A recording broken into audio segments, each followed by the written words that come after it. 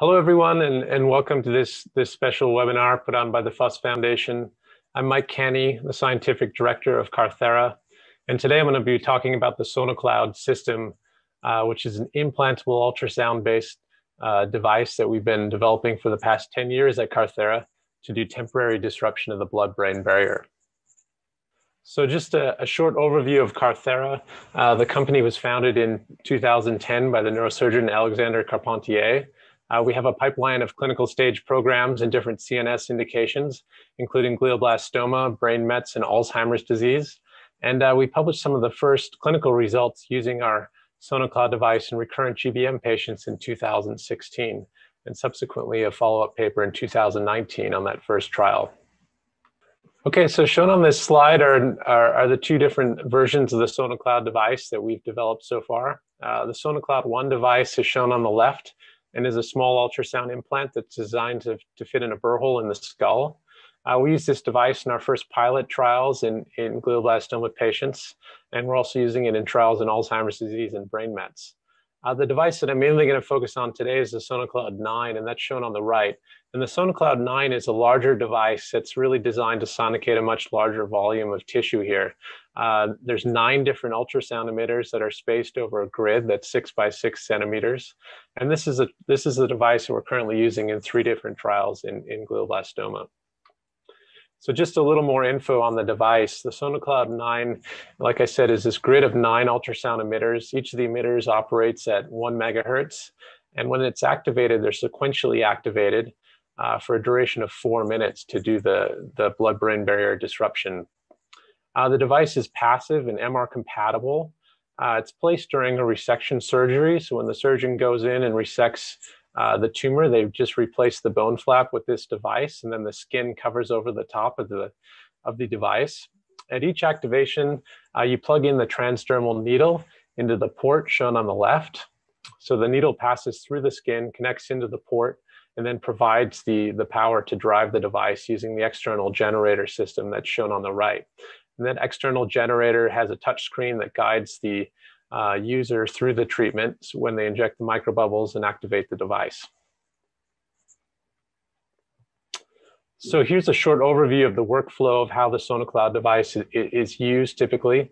Uh, like I said, when the surgeon goes in and does a resection surgery, uh, the SonoCloud 9 is placed at the end of that, that resection procedure. Uh, and then the device is activated to do blood-brain barrier disruption at each administration of drugs. So if you're giving, for example, a monthly uh, chemotherapy like we did for our carboplatin studies, uh, you'd activate the device uh, for a period of four minutes. Uh, you'd give the drug, and then you just repeat that until you, you know, saw evidence of progression or, or had had to switch uh, drug therapies. Uh, the time for doing the sonication procedure has been very short. We've seen across trials, it's typically about five minutes to do the connection the needle with the device, and then we activate the device for a period of four and a half minutes while the microbubbles are being injected to disrupt the blood-brain barrier. Uh, these are some simulations showing the, the region that we're sonicating with the SonoCloud 9. So these nine emitters, like I said, are, are placed on a six by six uh, centimeter grid. Each of the emitters is one centimeter in diameter. And it's really designed to try to target not only you know, the tumor, any residual tumor that's left, but also the surrounding infiltrative region where we know that recurrence is most common in these GBM patients. We really want to try to get an increase in, in drug and chemo uh, in those regions. So we currently have three different clinical programs ongoing in GBM. Like I said, our first trial that was done with the SonoCloud 1 device isn't shown here. That trial is finished and, and the results were published in 2019 in Clinical Cancer Research. But we've been continuing this program of using carboplatin in combination with the SonoCloud device in recurrent GBM patients in an ongoing trial right now with the SonoCloud 9. And that's ongoing in the United States and France, and we plan to recruit 33 patients in a phase 1-2 trial. In addition, we've been exploring uh, using this technique with other drug therapies. We've initiated a trial uh, in collaboration with Northwestern uh, Memorial Hospital in Chicago.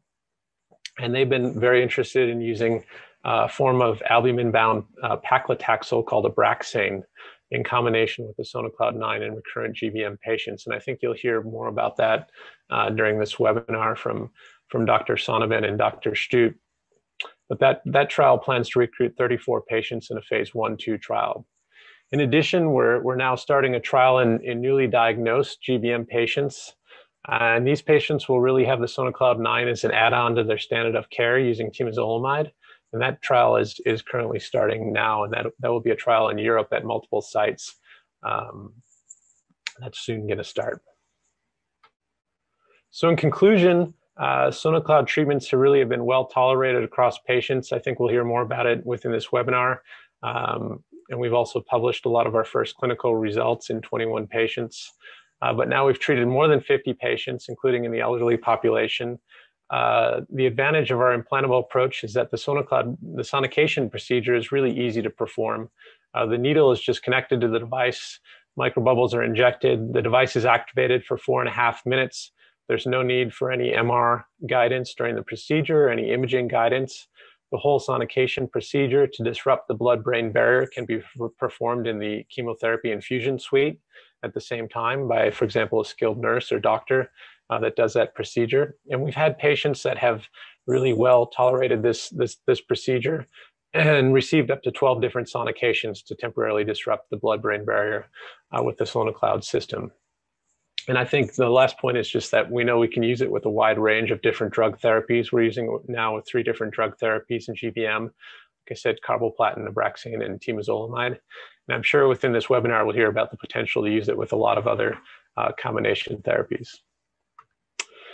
So for additional information, please uh, refer to some of our recent publications that I've highlighted here. The two first two are the, the clinical results of the SonoCloud 1 that I mentioned. Uh, the second two are some preclinical work that we've done in Paris and in Chicago, uh, exploring these drug therapies. And I'm um, happy to answer any additional questions during this workshop, or please send me an email for additional info. Thank you very much.